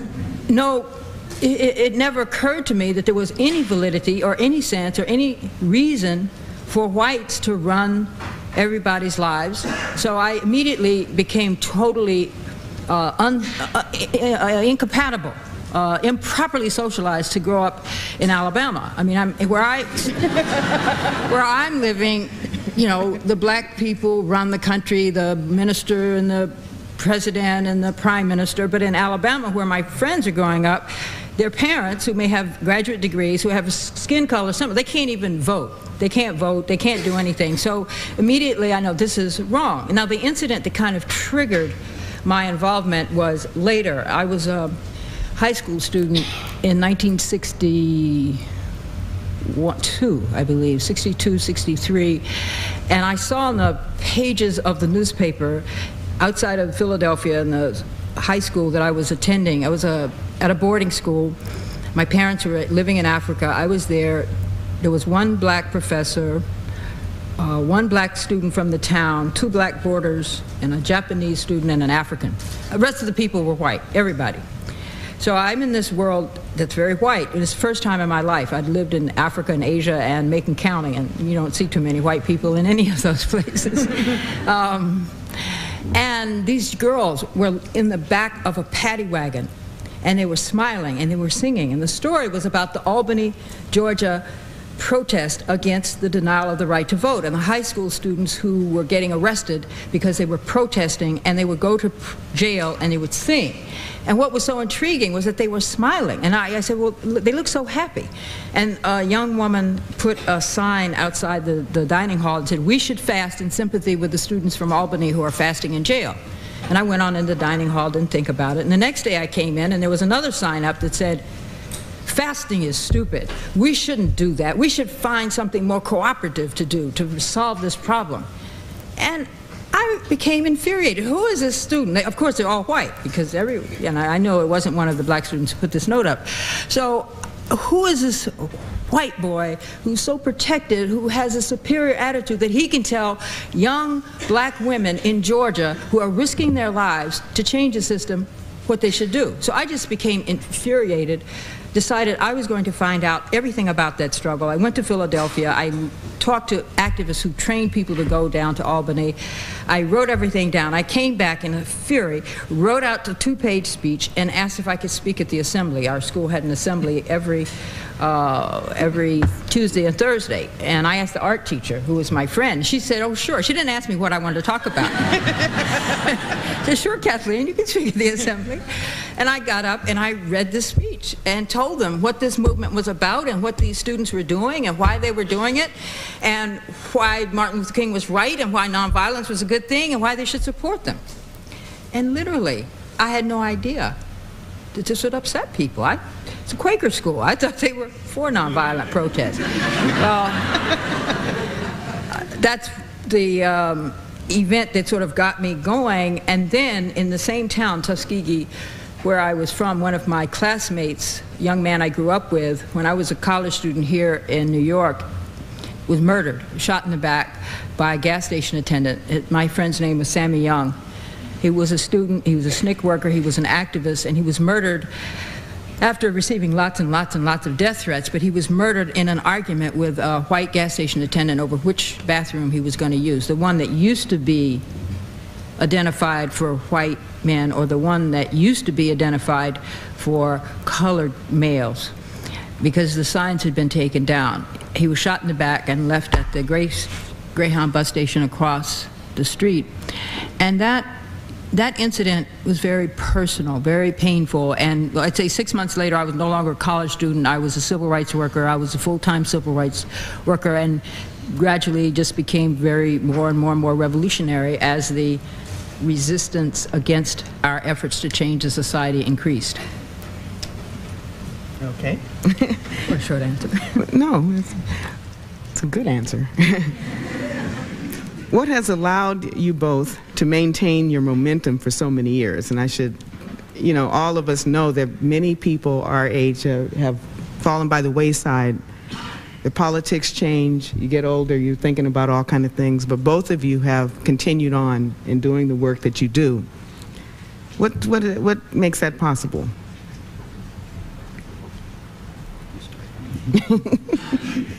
Like the reason.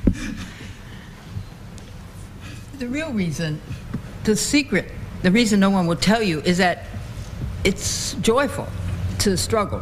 You always feel, at least I feel happiest when I know I'm doing something that can in some way break through and break down the kind of barriers that restrict people's ability to be creative, to be whole, to be healthy, and it makes me happy. Now, it makes a lot of other people feel different things, and sometimes I've wondered, I mean, as I walk into situations where people are trying to kill me or walk into situations where it looks like, oh, this, this might be it, uh, I don't really feel joy then. But, um, I will say that joining the, I talked to my father into letting me join the civil rights movement with this argument.